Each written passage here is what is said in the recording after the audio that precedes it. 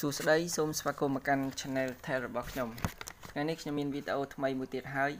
ចង់បង្ហាញអ្នកទាំងអស់គ្នាពីរបៀបឆែកមើលលេខទូរស័ព្ទរបស់ខ្លួនឯងនៅក្នុងប្រព័ន្ធ Medphone ឥឡូវឥឡូវនេះខ្ញុំនឹងបង្ហាញអ្នកទាំងអស់គ្នាពីរបៀបឆែកលេខខ្លួនឯងនៅក្នុងប្រព័ន្ធ Medphone ដូចតទៅ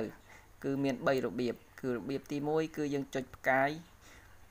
9 9ត្រង់ជ្រូកហើយចុចបញ្ជូនតែមកក្រុមហ៊ុននឹងផ្ញើលេខរបស់យើង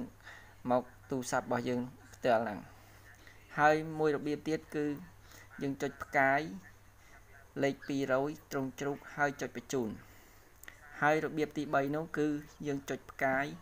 097ត្រង់ជ្រូកហើយចុចបញ្ជូនមួយសន្ទុះក្រុមហ៊ុននឹងផ្ញើលេខទូរស័ព្ទរបស់យើងមកអញ្ចឹងការបង្ហាញពីរបៀបឆែក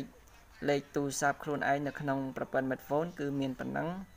សូមអ្នកទាំងគ្នាជួយចុច like និង subscribe និងសញ្ញារូបកណ្ដឹងនៅខាងក្រោមវីដេអូនេះដើម្បីទទួលបាននៅវីដេអូថ្មីៗបន្ថែមទៀតសូមអរគុណ